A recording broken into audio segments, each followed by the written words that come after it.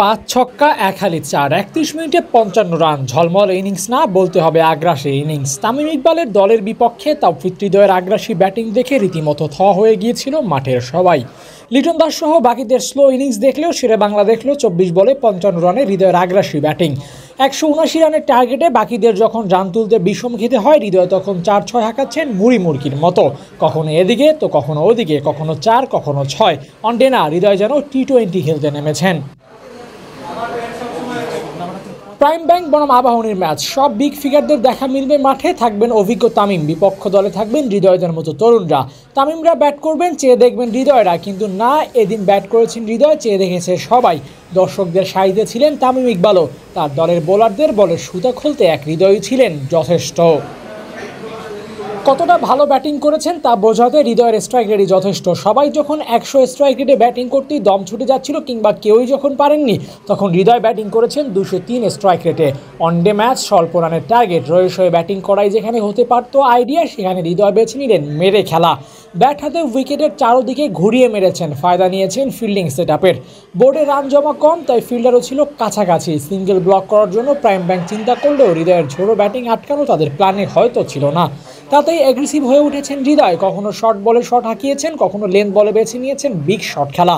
মোদ্দা কথা, খারাপ বল পেলেই উড়িয়ে মেরে মাঠ ছাড়া করেছেন তাওফিক হৃদয়।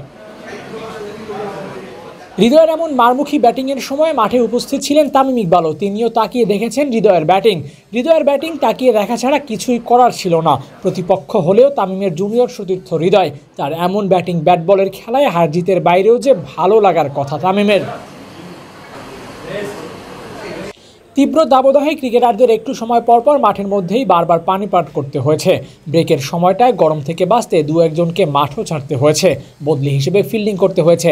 এভাবে শেষ হয়েছে দিনের খেলা। Abu Naim Sports Times.